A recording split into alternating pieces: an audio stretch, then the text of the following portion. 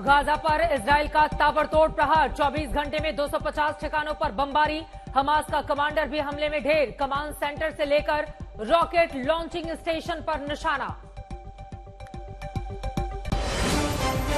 युद्ध में अमेरिका की एंट्री से जंग का दायरा बढ़ने की आशंका। सीरिया में ईरान के सैन्य ठिकानों पर बमबारी। अमेरिकी रक्षा मंत्री ने की पुष्टि।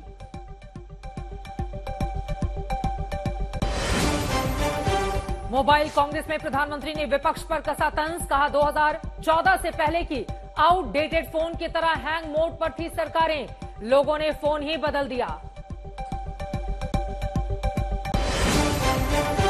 राजस्थान में ईडी एक्शन के खिलाफ कांग्रेस में आक्रोश, सीएम गहलोत बोले, कुत्तों से ज़्यादा ईडी सीबीआई घूम रही। बीजेपी बोली, भ्रष्टाचार पर ज़ीरो टॉलरेंस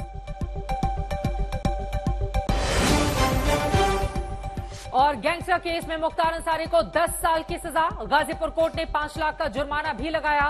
कल ही दोषी करार दिए गए थे मुख्तार।